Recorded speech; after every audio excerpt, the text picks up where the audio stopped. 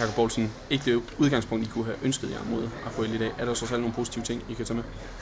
Ja, bestemt. Vores øh, anden halvleg var, var rigtig fin. Vi får skabt en, en del store chancer, og får også øh, vundet anden halvleg. Så, øh, så der kan vi tage en, tage en masse gode ting med. Så er altså tilfreds med det spillemæssige niveau i dag.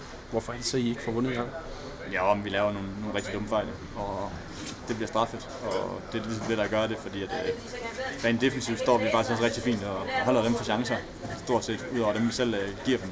Så, øh, så på den måde er der, er der mange øh, positive ting, og der er også lidt øh, mentalt, som vi kan tage med, øh, med at øh, ja, vi skal ikke stå og parere, vi skal, det er også skal tage initiativ, og vi skal, vi skal lægge pres på dem, og det formåede vi at gøre i anden halvleg, men øh, første halvleg, der ved jeg ikke helt, hvad i forhold til alt det her reduceringsmål, som øh, er signeret dig, og øh, det må vi give en lille smule trods alt tro på, at det kan lade sig gøre, eller hvad?